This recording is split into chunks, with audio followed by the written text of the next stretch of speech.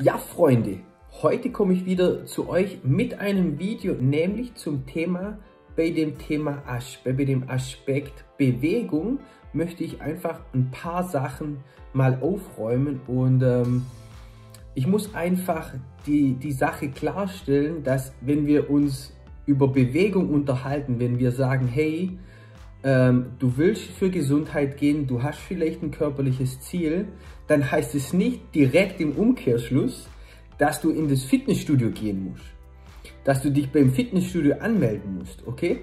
Das heißt es eben nicht, es ist irgendwie in der Gesellschaft so gewachsen, dass körperliche Betätigung oder körperliche Bewegung oder äh, äh, wenn man da mehr machen möchte, dass das immer gleichgesetzt wird mit Fitnessstudio. Ähm, aber den wenigsten Leuten wirklich würde ich empfehlen, direkt ins Fitnessstudio zu gehen, sondern erstmal müssen wir schauen, Standortanalyse. Standortanalyse bedeutet, okay, wo bin ich jetzt aktuell mit meinem Bewegungsspektrum, mit meinem Pensum? Was mache ich aktuell gerade? Wenn jemand äh, eben körperlich aktiven Beruf hat, muss man das natürlich ganz deutlich mit einbeziehen, als wenn jemand einen Bürojob hat.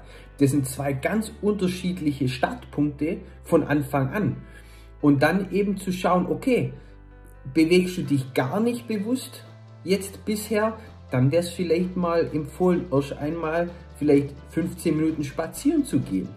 Okay, wie viel äh, äh, ähm, wiegst du? Hast du Übergewicht? Hast du kein Übergewicht? Auch wichtige Faktoren, wenn es um das Thema Bewegung geht.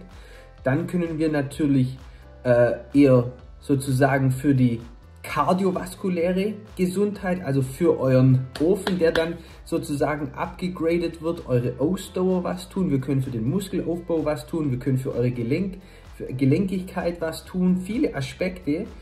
Aber in erster Linie erstmal in Bewegung zu kommen. Ich empfehle für ganz Neueinsteiger, die noch nie Fitness gemacht haben, Bewegung gemacht haben, aktiv sich Gedanken gemacht haben, erstmal mit Spazierengehen anfangen, vielleicht mal schnelles Gehen, vielleicht joggen, vielleicht zu Hause mal ein paar Übungen auf der Yogamatte, vielleicht sich irgendwelche Bänder für zu Hause holen.